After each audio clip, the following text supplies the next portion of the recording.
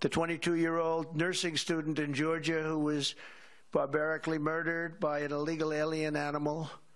Uh, the Democrats say, please don't call them animals. They're humans. I said, no, they're not humans. They're not humans. They're animals.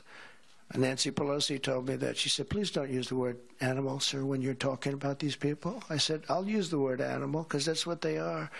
I'll never forget.